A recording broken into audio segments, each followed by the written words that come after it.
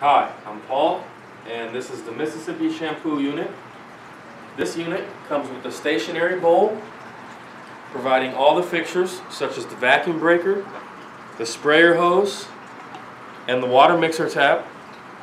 You also have a removable headrest and a basket in the drain to help catch hair and other debris. The plumbing for this unit can be ran through the ground or the back and there is a removable cover which can easily be taken off by removing these two screws.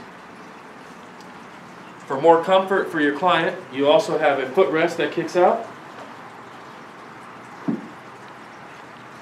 And this unit has a smooth design that will look great in any salon.